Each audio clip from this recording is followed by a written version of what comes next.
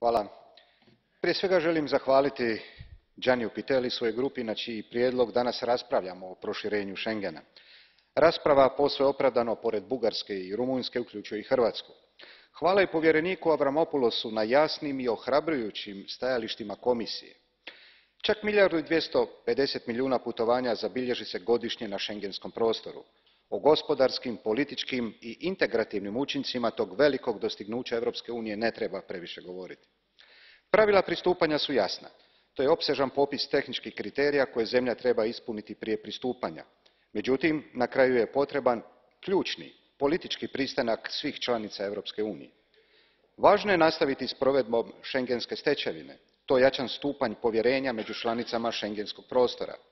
Jednako tako treba imati povjerenja i prema članicama koje već dugo intenzivno rade na ispunjavanju svih kriterija.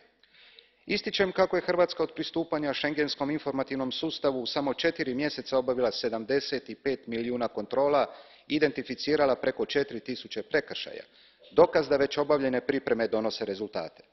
Osim toga, Hrvatska od svih članica ima najdužu vanjsku kopnenu granicu Europske. Želimo doprinijeti boljoj sigurnosti našeg dijela vanjskih granica unije. Želimo unutarnje granice Europske unije bez bodljikave žice koja nas danas dijeli od naših susjeda. Na Hrvatskoj je da ispuni sve kriterije za pristupanje Schengenu, što očekujemo do kraja sljedeće godine. Na Vijeću je potom da uvaži sve što je napravljeno. Kredibilitet Europske unije jasno će se potvrđivati na ovom pitanju. Hvala.